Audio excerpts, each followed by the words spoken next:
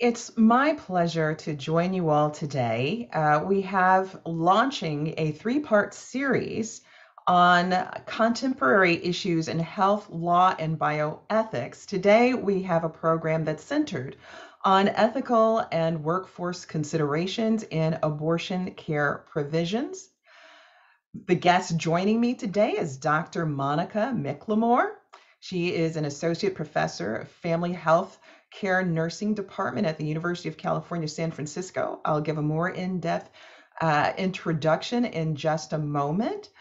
I want to alert all of you that if you have questions for us today, then please put those in the Q&A. We have a program that's going to be an armchair fireside type of discussion and I couldn't be more pleased than to be doing this with one of my favorite people uh, of all times ever, ever, uh, with Dr. Monica McLemore, not only for the professional experience that she brings, but also uh, the great depth of integrity uh, that she brings to all that she does. Couldn't be more honored than to have her with us today. So I'm going to get us started. My name is Michele Bratcher Goodwin. I am a senior lecturer at Harvard Medical School and a chancellor's professor at the University of California, Irvine where I'm also the founding director of the Center for Biotechnology and Global Health Policy. Some of you might be familiar with my work outside of that as the executive producer and host of On the Issues with Michele Goodwin at Ms. Magazine. I'm so happy to have also had Dr. McLemore on that show uh, as well.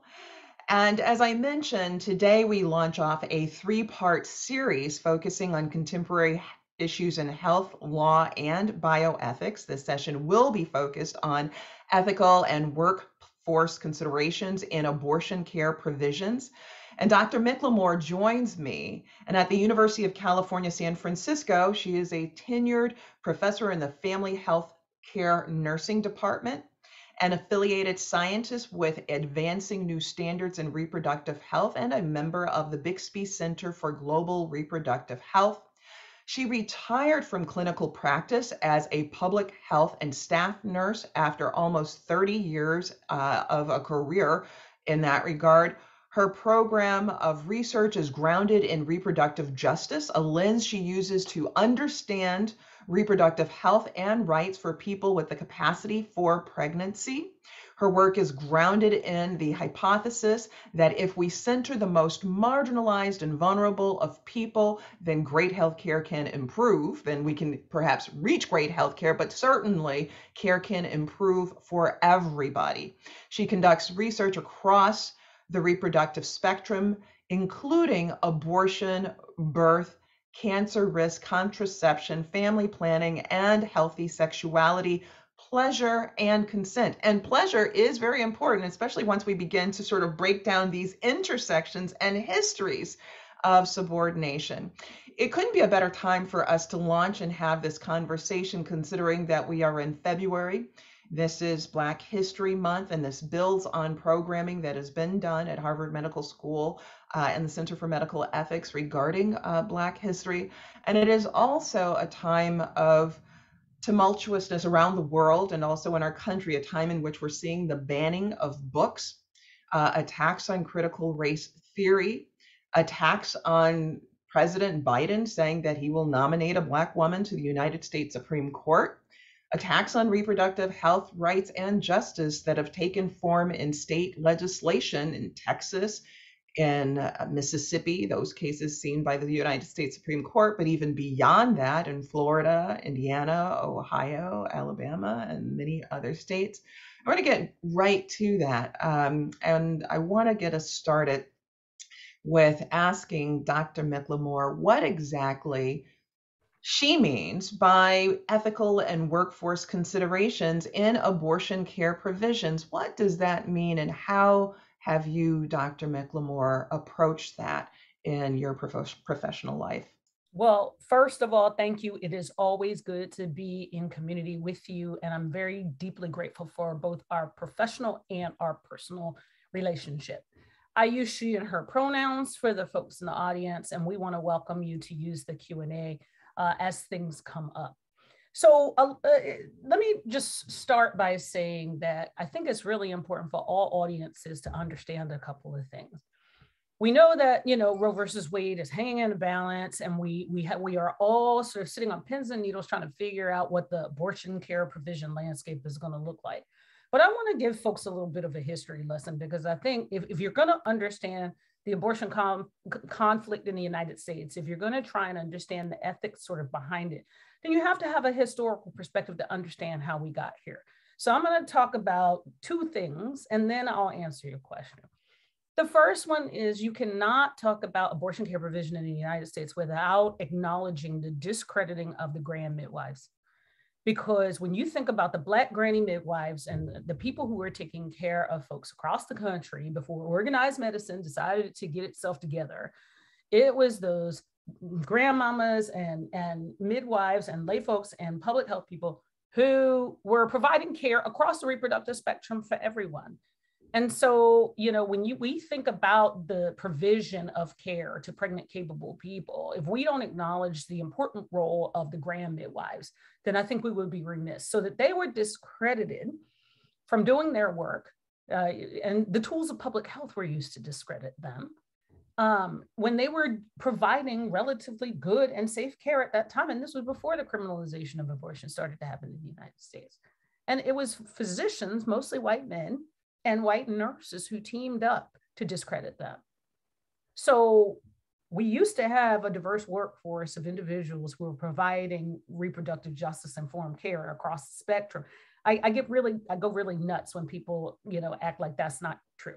Can I, I, I know you have additional points to add to that, but I want to ask a question that builds from that because we don't spend time really nursing the information that we get and sitting with it. So you just explained something really, really important. And if we sat with that for a moment, the fact that the majority of people providing reproductive health care in the United States had been these midwives, and the majority of those midwives, I mean, overwhelmingly it was, nearly 100% of that care was done by midwives, right? Right. right. And if people right. thought about it, right, there were no guys with stethoscopes roaming across the plains of Africa, right? Like, you know, if, if people really think about it, right, like there are no guys in lab coats roaming around Europe, right, in the, you know, 500, 600s, right? You know, that that's just not happening.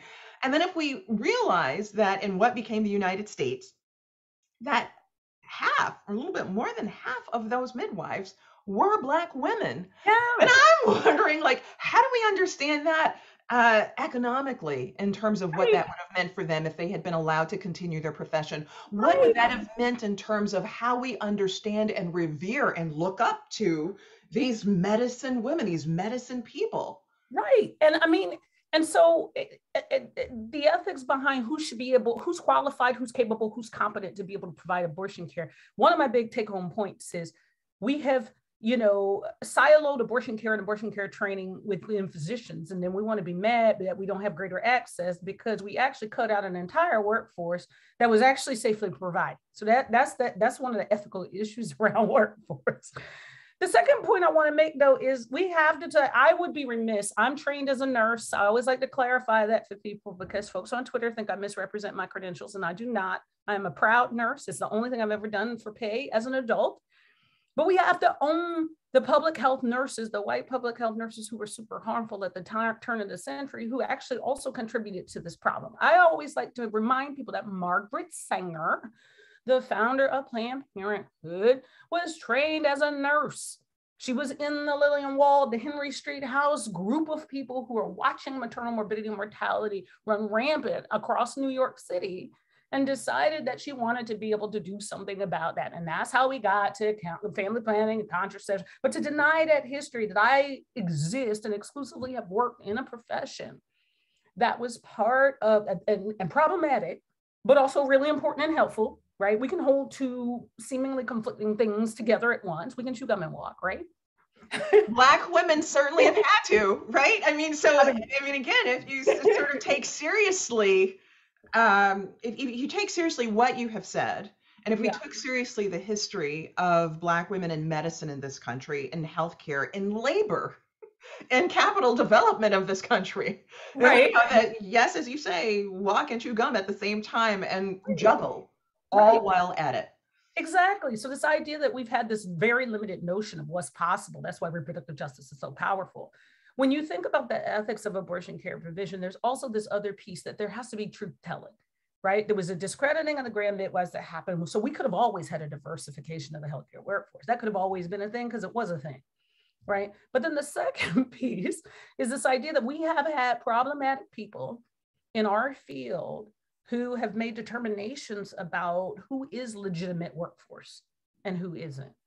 And one of the ways that I think we've been really, really remiss, I mean, we opened up with a lot of the sort of harm and doom and gloom of, of Roe and are the current state of affairs and all of that, but we've had some serious landscape wins throughout the pandemic, right? When I think about advanced practice clinicians, right? When I think about midwives, physicians assistants, and nurse midwives, right? We've had expansion of practice and codification of their capacity to provide abortion care in New Jersey, in Virginia, in Hawaii. I, why do I know this? Minnesota, right? Is because my research and my data and my findings have been u- used along with advancing new standards in reproductive health, the ANSIRH program, to show that advanced practice clinicians can be safe providers of abortion care. Right? I've been the expert witness providing testimony, educating judges and other individuals who are trying to adjudicate these cases to shore up Roe that, that we can be safe providers of care. That's why it's unethical that if you limit who can be classified as an abortion provider, including the people having abortions themselves, right? And yes, that's a, a hat tip and a nod to self managed abortion because people who need abortions, people who seek abortions can be their own abortion providers, right? That's why this whole ethical thing of who gets to decide who is an abortion provider is important. So so mm-hmm. I want to just spend one more moment on the history, right? And, and yeah. we should because at this point, Dr. McLemore, there yes. are people trying to cut the history, right? I mean, it's it's it's a stunning time where mm-hmm. we're in where there are uh, medical books that are being proposed for destruction. Mm-hmm. There are books, children's books written by um, Rosa Parks uh, yeah. that are being removed from school shelves. Uh, there are books about the Holocaust that are yeah. being removed from schools. Um, a lot of denialism that is uh, taking place. So spending this moment on our history, I think, is is critically important, and it's critical to the conversation that you're leading in here. So uh, a couple of points that I want to add to it, and then um, happy for your response. So as you've mentioned, the granny midwives doing this important work, and really in Roe v. Wade, that 1973 opinion 77 to 2 opinion, so it's not even close. Right. Written by Justice Blackmun, who's put on the court by Richard Nixon. Yep. Uh, he canvasses history and he says abortion was not always criminalized in the United States, and it wasn't. And it becomes around the time of the Civil War. Right. And it becomes this important kind of galvanizing piece that implicates race and also sex. And it implicates race as folks like Horatio Storer, Joseph D. Yep. Lee, are saying that white women need to use their loins and go north, south, east, and west. And they're using the American Medical Association as a platform yep. for their work. And so, this very clever smear campaigns that they launched uh, were meant to be politically persuasive and to achieve legal reforms that would push midwives out. This smear campaign, as you were talking about, claimed that midwives were unhygienic, were barbarous, were non efficacious, non scientific.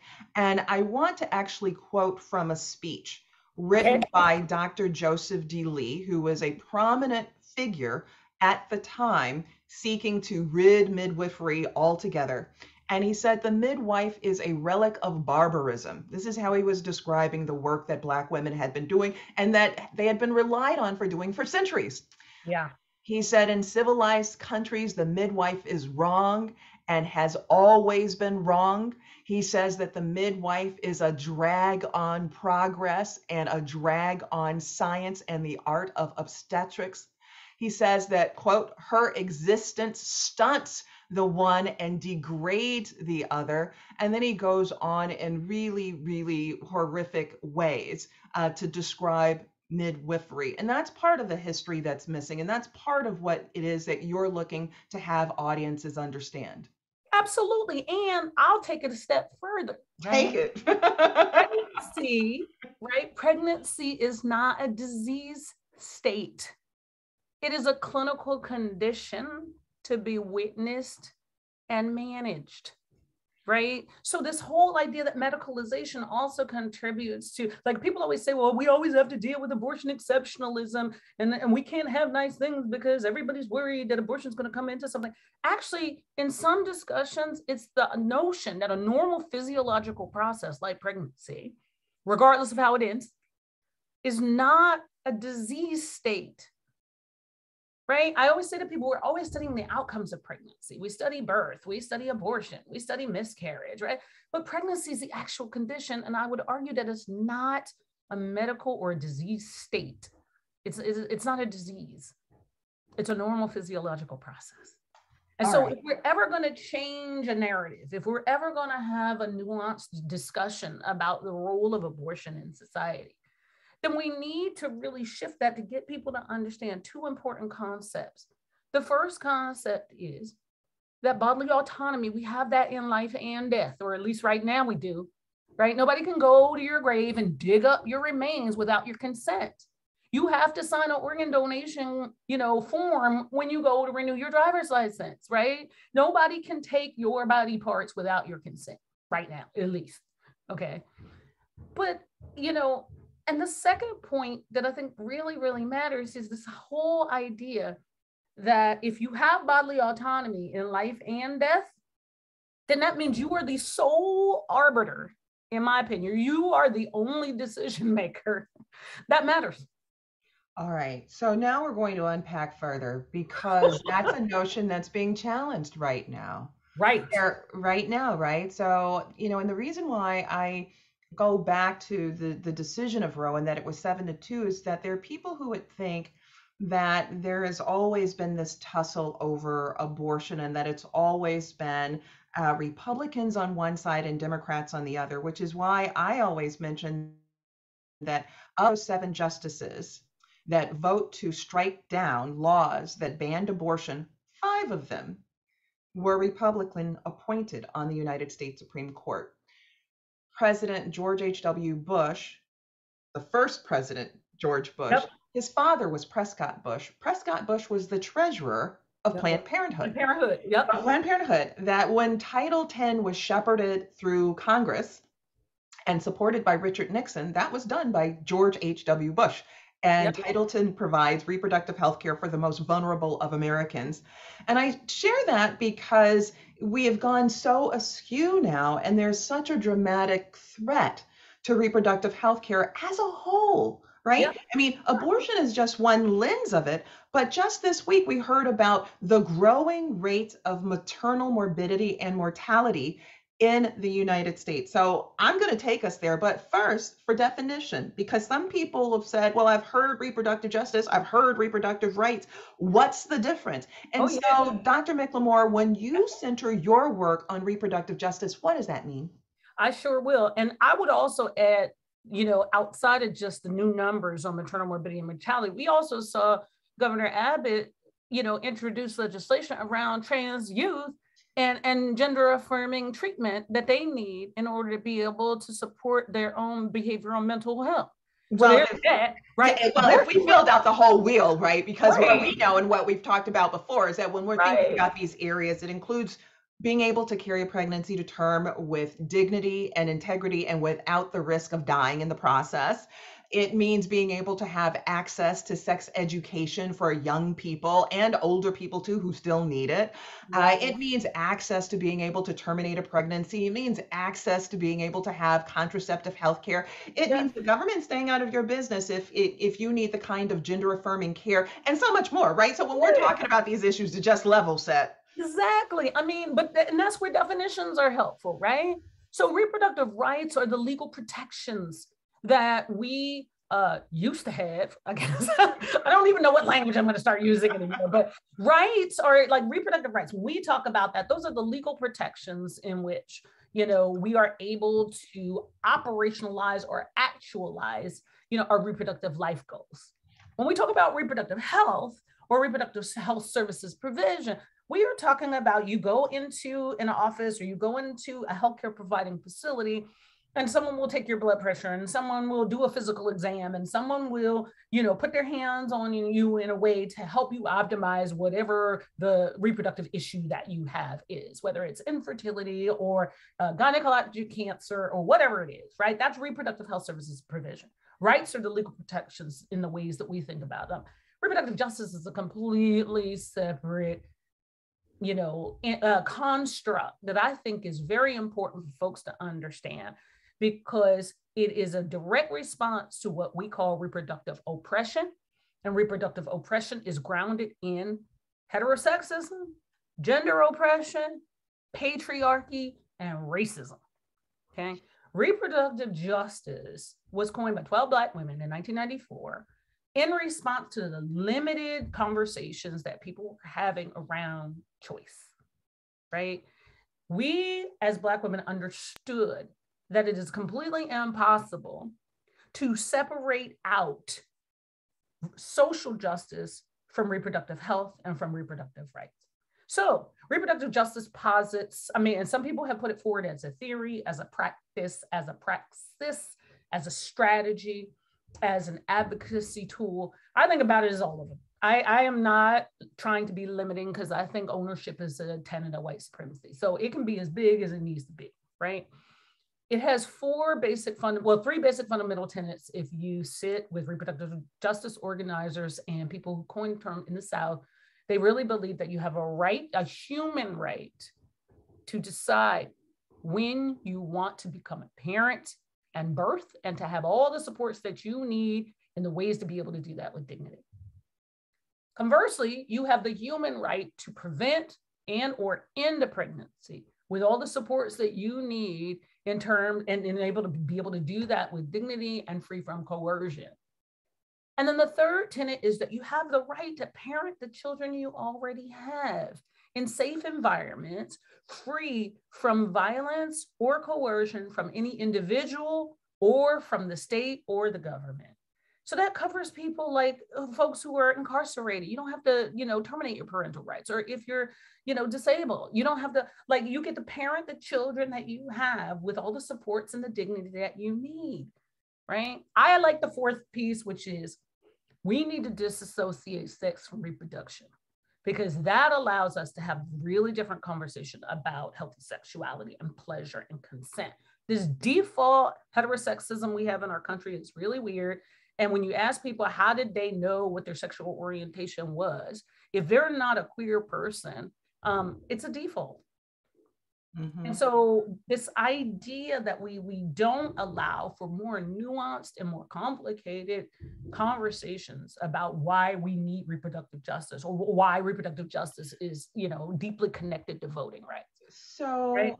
right. So then this brings me, you know, as I think about our conversation and just that importance of um, tracking through our history, clawing through our history so that we come to understand this. Because when people think about, or certainly what we've seen in, in news recently, sure people struggle with this idea of understanding systemic inequality, mm-hmm. systemic discrimination, systemic racism, systemic heterosexism and sexism within these spaces. And so what you're helping to do is to bring the terms in light with what has actually happened. So, what I think of based on what you've said, it makes me think about eugenics yes. as part of a legalized, sanctioned, systemic. For, so, for people who are in denial, you're like, well, there's never been these histories, right? Uh, and there's never been systemic inequality in this space. Then, 1927, the United States Supreme Court in Buck v. Bell upholding a Virginia law providing for the compulsory sterilization of people who are poor and considered unfit. And yep. in this law, which has no definition about what unfit means, which basically leads to disparate kinds of policing of people and their bodies, and overwhelmingly, it's all poor people. Yep. Right. Um, and the case involves a 16 year old poor white girl who had been raped by her employer's nephew and became pregnant And Virginia used her as a test case because Yep. Virginia wanted to make sure that there would be a law upheld by the United States Supreme Court that would allow Virginia and every other state that wanted to do it to basically round up people and Yep. prevent them from ever continuing their kind. And they got it in that case. In that case, the Chief Justice, Oliver Wendell Holmes, said, said that three generations of imbeciles are enough. Yep. He said that the power that the state had to impose inoculation was broad enough to cover cutting the fallopian tubes. Yep. His words. Yep. His words was that better than to let them starve for their imbecility, society can prevent those who are manifestly unfit from continuing their kind. Yep. That's US law. Yeah. And that's US jurisprudence. Yeah. And US jurisprudence that's never been overturned. Yep. It's And still on the books. It's still on the book. Like for the people who were on this call, a lot of people don't know. My dad is a constitutional lawyer. I've spent my entire life, you know, engaging with lawyers. And yeah, I was pretty stunned to realize that Buck v. Bell is, is still on the books. Yeah. Right. It's never been overturned. And right. that- And- yeah, and that that the the pregnant capable people, the people at the center of that case never got a say. Never got a say.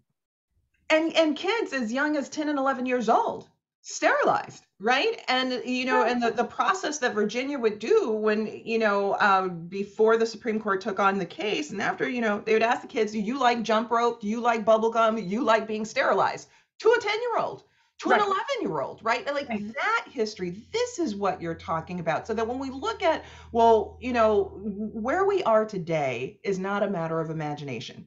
And it's not a matter of, oh, this just happened yesterday, but we're actually talking about the sort of dismantling of systems that have grown over time. And I'm going to come back to that because it relates to the Mississippi abortion case and the injunction put in that case by Judge Carlton Reeves and his reference to the Mississippi appendectomy. So we're going to come back to that. Like, I hope Yep, to come yep. back to that. Yeah, But I want to take us to uh, ethics, um, ethics, and what this means uh, in a time today when we see the dismantling of abortion rights in states like Texas with HB um, SB 8, uh, in Mississippi with the 15-week abortion ban law, law. So, how does ethics fit in to these spaces and in your profession?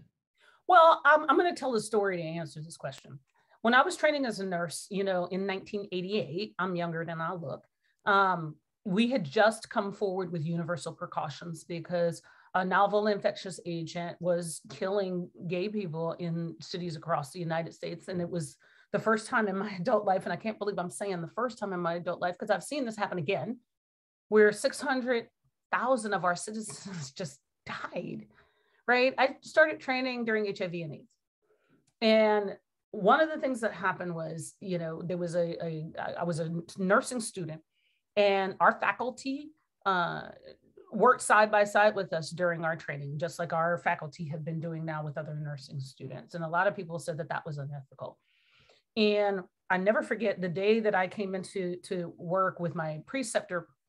There was an old uh, gentleman, older gentleman who uh, he had swastikas on his arms and he had been abusing the nursing staff. He had been there for weeks because they couldn't figure out what, what was causing his GI bleed. And he pulled his NG tube out and he had been harassing the nurses. And so when it came time for a report to come up, my preceptor said, me and Ms. McLemore will take him. And this was, you know, pre electronic uh, medication dispensing. We had a Kardex room, a room where you went into and you had to get the cards and write the medication down in the care plan for the day.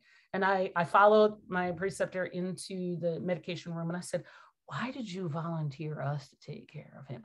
And she looked me straight in the face and said, Ms. McLemore, you are my strongest student. She said, take a look around. She said, these nurses are worn down. They are tired. They are sad. They have been disrespected. If we take, take him today, you and me, and we give him really good care, then we've cared for our colleagues today too. I have never forgotten that. So when I think about conscientious objectors of abortion care, I can talk to them in the same way I can talk to conscientious providers of abortion care. Because for me, if we want to talk about ethics, part of the ethics when you're thinking about the health professions is whose needs matter first.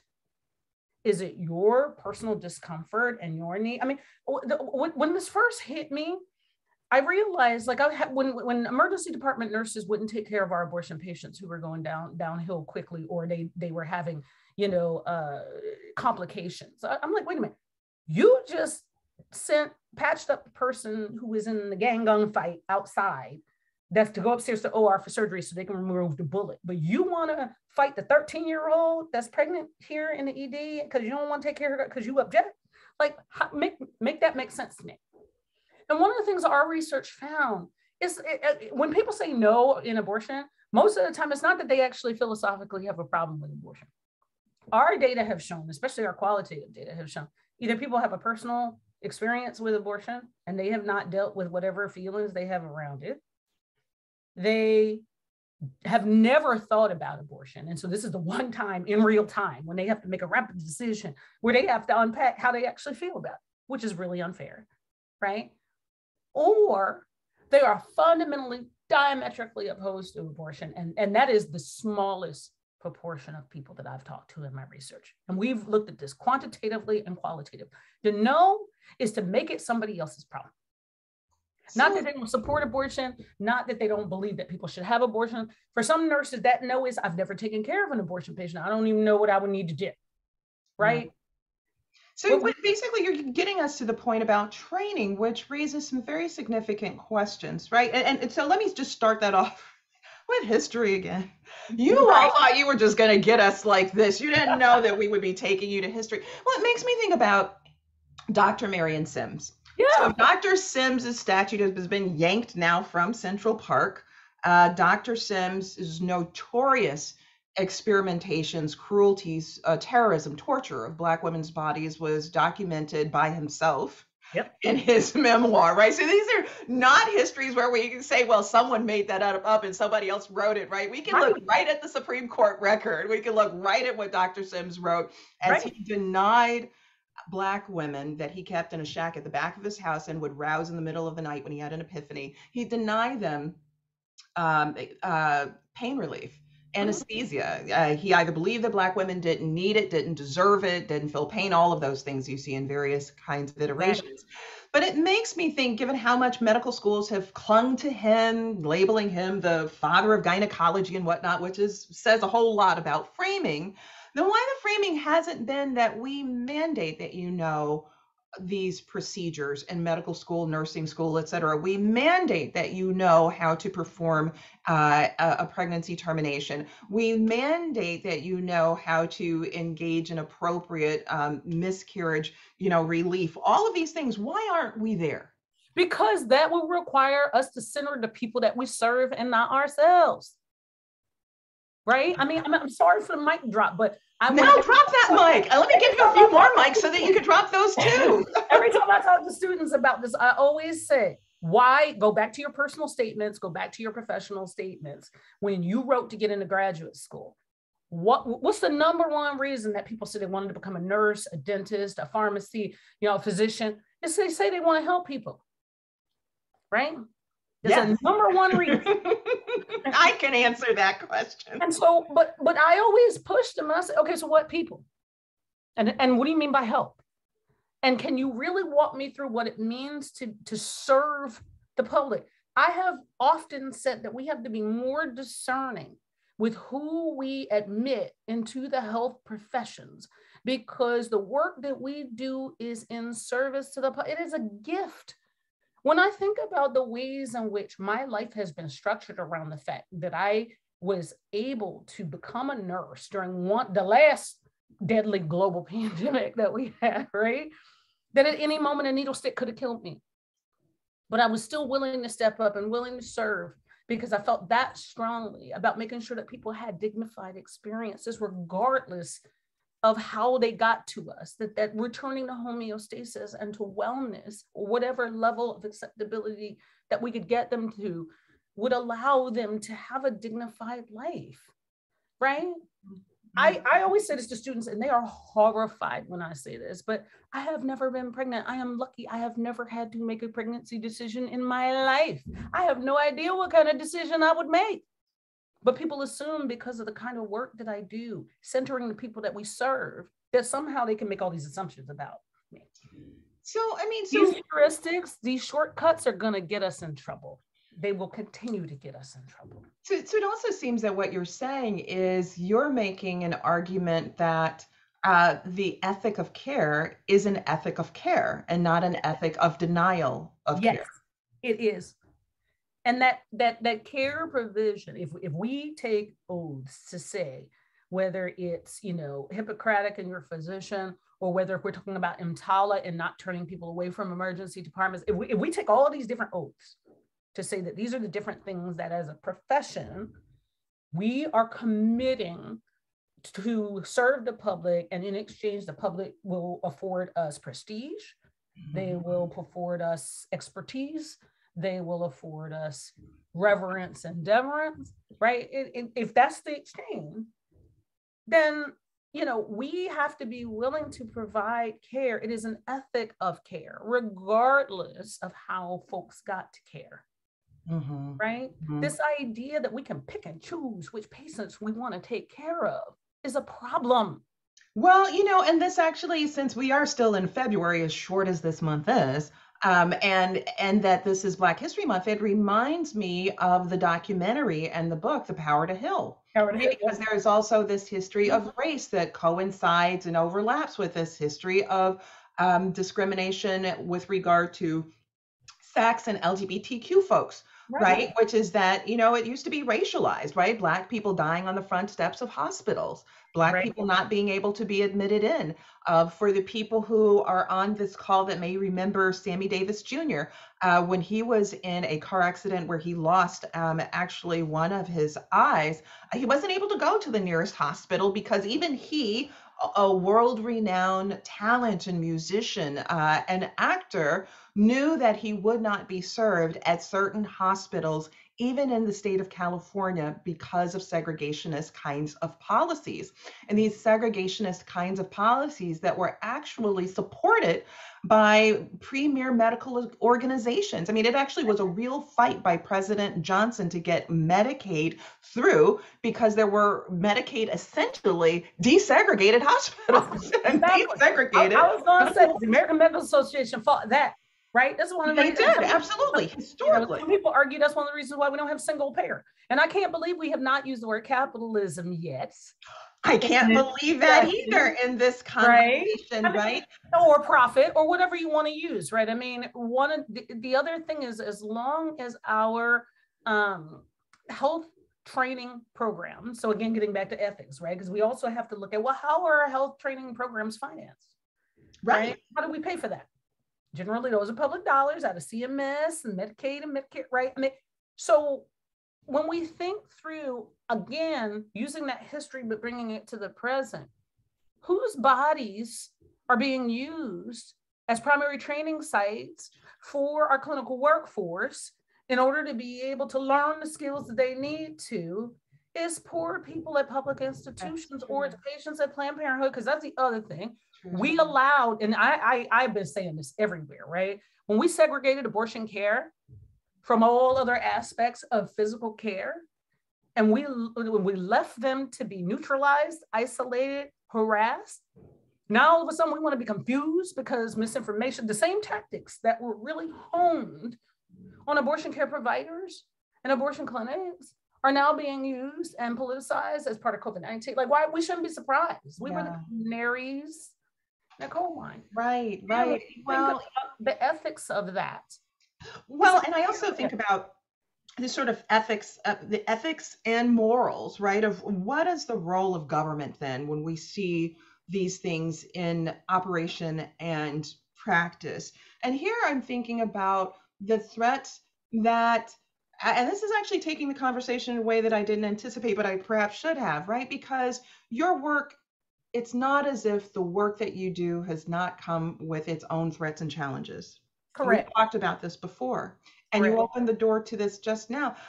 You know, uh, uh, being in a practice area where there have been the bombings of clinics, right? Since. Roe v. Wade, there have been nearly 50 bombings in the United States of places that are providing mm-hmm. patient care Mm-hmm. Every day in the United States, there are medical professionals, providers of care that are harassed and tormented as they are about to give care to mm-hmm. their clients and patients. Every day in the United States, there are people who are either supporting people who want to terminate a pregnancy or are going in to terminate a pregnancy themselves who are spat upon, yeah. who are pushed, who are shoved.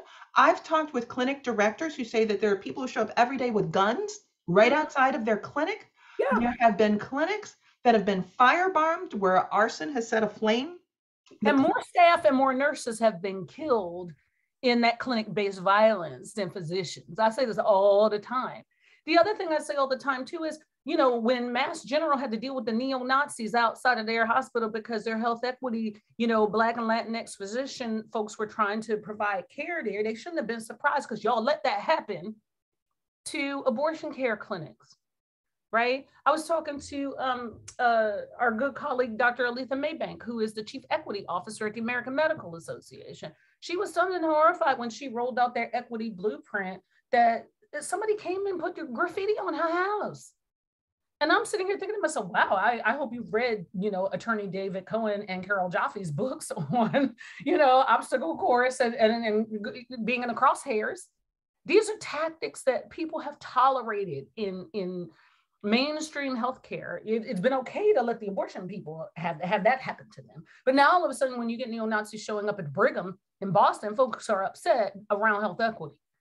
Oh, same tactics, same people. It's, it's just the insurrection on January 6th. You talk about right. what's the role of government in the ethical provision of healthcare.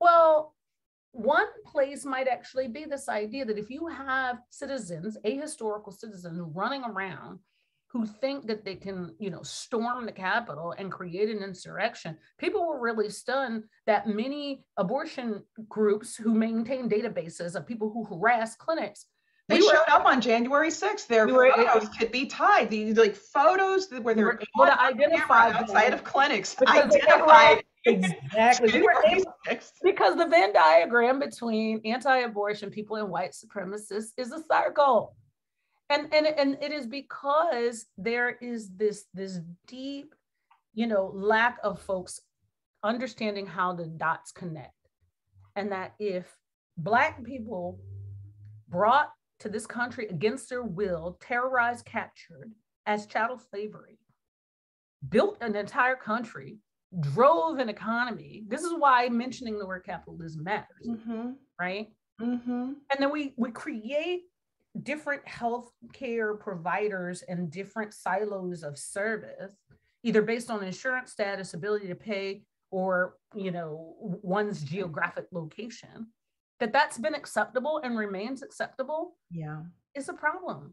Which again goes back to the ethics of the distribution of abortion care providers, because we haven't talked about that either.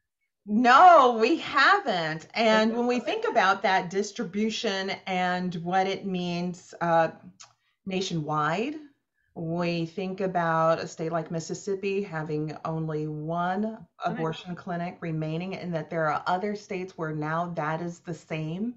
Uh, when you think about um, people having to drive hours and it's mm-hmm. not just driving the hours in order to get to the near, nearest clinic, but because there are targeted regulations of abortion providers and all these kind of trap laws, you may drive, but you're going to have to actually drive back right a few days later exactly. and have to get babysitting care, take time off from work, all of this because of lies and misinformation you have to listen to in the waiting room, right? The unnecessary ultrasounds that you may may or may not need, like all of that, right? But again, we've allowed that to happen because, unlike our good public health colleague, Dr. Camara Jones, who happens to be the presidential chair at UCSF this year, she always talks about we have to distribute resources based on need. Mm-hmm. That's a real public health approach. That's a real care, ethics of care approach. We would distribute our resources based on need. So you you mentioned capitalism, and so let's talk about it because it also gets us back to some foundations where people really sort of struggle to understand. And so let's you know open that door up yep. more because we're also talking about histories where the capital um, in U- the United States, and here I'm talking about the financial capital generated in the United States was was born quite literally in the wombs of Black women, mm-hmm. right? Mm-hmm. Um, where Wall Street that the second largest auction block in the United States Wall Street, uh, where people, you know, if you think about the mortgage on your house, did you know that kind of mortgaging started with black bodies, right? Where people Yeah. wanted to be able to, mor- and then the insurance that you'd get, sort of like life insurance, based on because what use is Yeah. a dead enslaved person. Yeah. So life insurance meant you like work them hard, work her hard, and then here's some life insurance that kicks back. You know, all of these kinds of systems, and then laws created around that. Laws such as uh, a child in the United States, the earliest laws in the United States, that a child will inherit the status of her mother Mother. rather than her Yep. father. Complete change Yeah. of the laws that otherwise would have been adopted from England, but purposefully right. for the status of reinstantiating next generations into enslavement, even if their fathers happen to be white. And mm-hmm. this is part of that capitalist history that you're talking about in terms of the commodification. And I just want to add one point and then let you respond to it Yeah. which is that when we think about that famous speech of Sojourner Truth, Mhm. Ain't I a Woman? And most people thinking of it as a matter of chivalry. She starts off that speech with saying, And I bore 13 children Yeah. and saw nearly each one snatched from my arms, and nobody heard my cry but God. Ain't I a woman? And that's a story of that's a, a story of capitalism, and it's also a story of ethics and morality and law. Yeah. Yeah. I mean, and and it gets to, I mean, you know, the word personhood just went through my mind in in a couple of different ways. But it, it really does get to this whole idea that, you know, when we enter the health professions and we want to be able to take a life course perspective in assisting the people we serve reach their reproductive life goals abortion is an essential component of that right i mean that you why is that? Because some people might say, well, you know, I don't know that abortion has to be a part of that. Why should abortion be a part of that? well because you know the truth of the matter is the people who have births and the people who have abortions are not different people they are the same people they're just at different time points in their lives right our collaborator you know at ANSIRH dr Diana Greene Foster shown beautifully in the turnaway study that you know up upwards of 88% of people who have abortions are already parents. We knew that right? And so this idea that that someone else can can you know make a determination for you that will impact the future of your life without consulting you Mm-hmm. is really ethically problematic. And when we codify that in the workforce training to be able to say that the only people whose opinions matter in clinical environments are conscientious objectors and not conscientious providers of abortion care, Mm-hmm. we are having an incomplete conversation. Right, right. Well, I'm glad that you mentioned that. I want to take a moment for our audience. In case you have questions, please begin to populate them in the Q&A and I will try to get to those questions, but this is a time for you to begin doing that, placing your questions in the Q&A. So, I'm wondering then, where do we go to from here? Uh, Because we're at a time in which the United States Supreme Court may very well uh, dismantle Roe. Not that Roe was ever the North Star, which you've talked about, and I've heard you talked about, which I've talked about too, but this is about you, right? Like, you know, so Yeah. Roe was, right, exactly. Um, and given that that's where we are with, you know, the Dobbs case before the United States Supreme Court will probably hear its ruling in the case in May or June. Right. So what happens next? How do we correct this this tide given where we're going? What's the role of medical providers in doing this, of nurses, of doctors in this space? Well, I mean, so, you know, Schumer and the Senate have reintroduced the Women's Health Protective Protection Act, and I'm glad they're going to force the vote. I don't think it'll pass, but you know, it's nice to have people on the record saying what they will and won't support. Um, Roe was never the best that we could get. And one of the reasons why I started off with some of the current landscapes and some of the wins when you think about the codification of abortion, you know, within, you know, law in New Jersey and, you know, uh, uh, advanced practice clinicians becoming of abortion providers in Hawaii and in Virginia. when you think about the fact that the South Carolina Fetal Heartbeat Protection from Abortion Act was defeated, when you think about the race and sex selection bans that were defeated in Arizona, with, with a partnership between NAPAWF and NAACP, in coalition, when we stand with the public and we educate them about these issues, they're with us, right? So mm-hmm. maybe this is a prime opportunity. And I'd like to remind the listeners in, you know, Dobbs, we got our first ever human rights grounded Black maternal health brief led by Dr. Joia Crear-Perry and the National Birth Equity Collaborative, making the argument that human rights trumps any state's rights in the context of a pregnancy, right? So for me, I, I sort of see this as an opportunity for us to try and build better than what Roe actually gave us, while also trying to ensure that the people who need abortion care now can receive it with dignity, you know, with all the supports that they need. That said, there are some asks that we need to make of people that historically we have not made asks of. And one, you know, notion that I have always rejected um, that I know is really rampant in our field is this idea that people have just shrugged their shoulders and said, well, well, there'll never be any hospital-based abortion.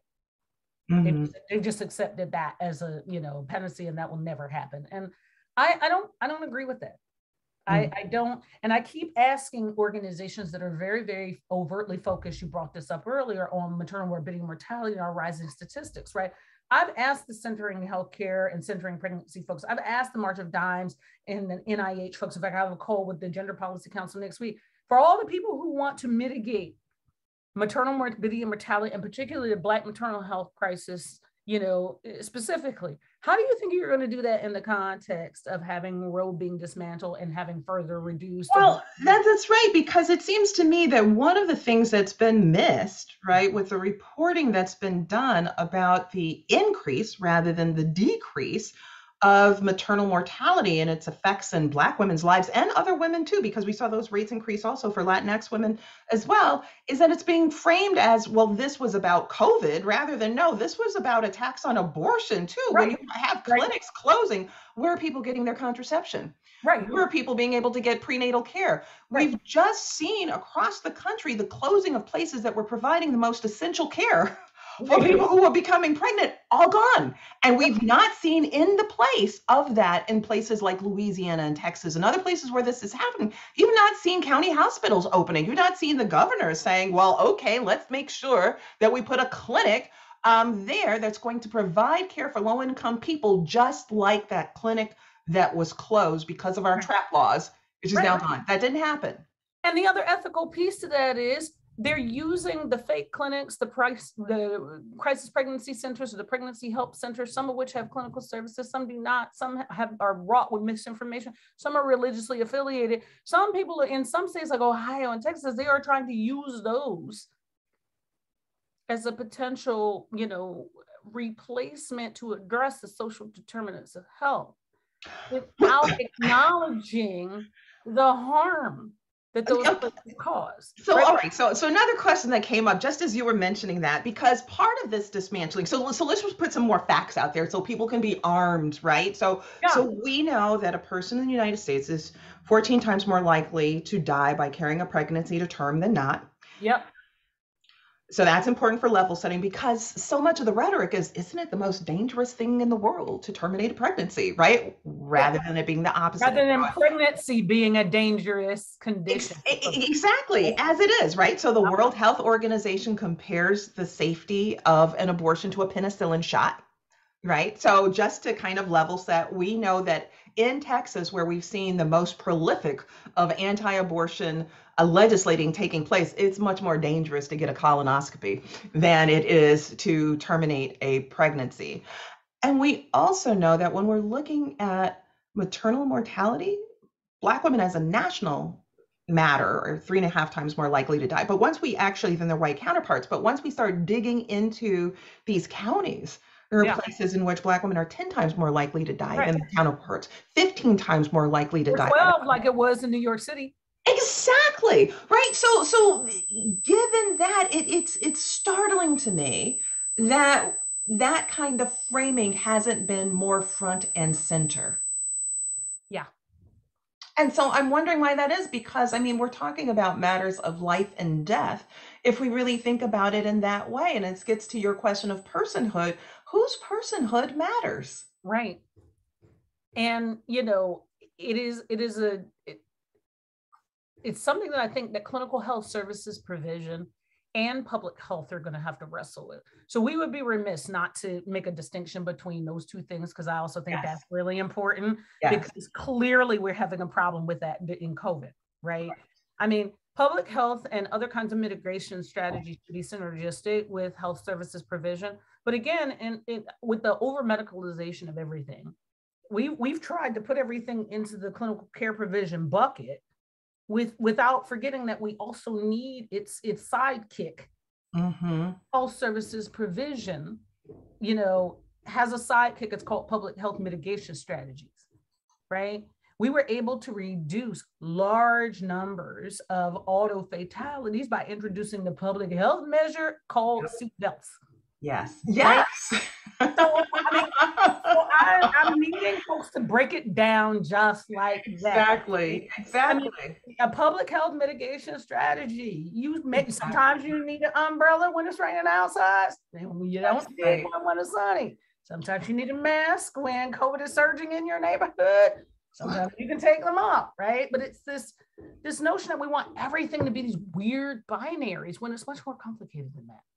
So, as we're thinking about what comes next, do you, do you think that there are certain opportunities that have actually come through these dark times? And what do the opportunities look like if you think so? And, and I want to maybe start with, um, you know, abortion pills.